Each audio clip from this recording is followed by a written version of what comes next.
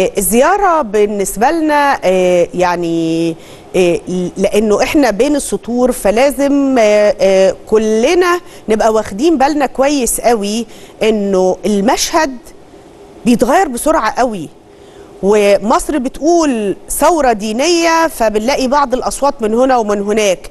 مصر بتقول إن في خوارج ممثلين في جماعة الإخوان في السلفيين في كل الأسماء الأصولية اللي بيسموا نفسهم بيها وفجأة الطريق بيتمهد. إحنا قدام تغير حقيقي قدام استعادة حقيقية للأرض. ولأن الأصل في المسألة كان الدين كل الدين فكان لازم العين اليمين دي اللي قدرت تشوف هذا الحضور في المشيخة بشكل إنساني وحميمي وأبوي و و و كان لازم العين التانية تكون منتبهة جدا لأن الزيارة الأهم. الأهم فيما بين السطور هي زيارة صاحب السمو الملكي ولي العهد للكاتدرائية المرقصية رأس الكنيسة المصرية في العباسية. الزيارة دي مش لازم تعدي كده ولا نقدر نشوفها بهذه الطريقة خاصة لما نقرأ التصريحات بعد الزيارة المهمة دي جدا جدا جدا إن هناك دعوة وجهها ولي العهد لقداسة البابا توادرس لزيارة المملكة. أنتوا عارفين إحنا بنتكلم على إيه؟ أنا اعتقد انه كتير من حضراتكم يقدروا يعني يلمسوا ما بين السطور اللي أنا ما أقدرش اصرح بيه بشكل مباشر. إحنا بنشوف رأس العالم الإسلامي ممثلا في ولي العهد الشاب الآن في آه، يعني الكاتدرائية المرقسية رأس الكنيسة الشرقية والكنيسة المصرية. أنتوا عارفين عن أي صدى نتحدث؟ عن أي تصحيح وثورة دينية نتكلم؟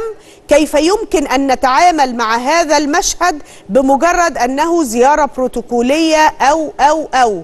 هل مقبول أن إحنا نتعامل مع المشهد ده بعيدا عن سياق الدولة السعودية الجديدة التي قاب قوسين أو أدنى من أن يتلمسها ويسير بها هذه الدماء الشابة ممثلة في الأجيال الجديدة في ولي العهد صاحب السمو الملكي الأمير محمد بن سلمان. إحنا رايحين لدولة سعودية جديدة بتجدد دمائها بإجراءات جريئة جدا. هل ممكن نفصل ده عن يعني سماح المملكة العربية السعودية للمرأة في السعودية بالقيادة قيادة السيارة.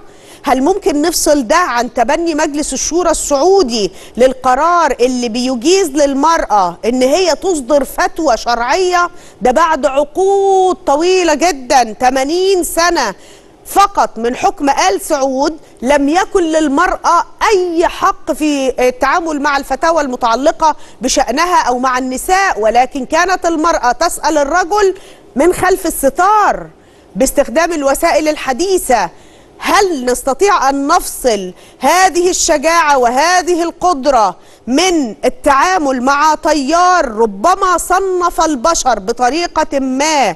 علشان نشوف إن النهارده آه، آه، يعني ولي العهد بكل هذا الحضور الجديد بتحديث المملكة يبقى موجود ما بين المشيخة أدي صوت الإسلام وما بين الكاتدرائية الاعتراف بالمسيحية بهذه الطريقة ونتعامل معها بوصفها دين مش بوصفه آخر مش موجود؟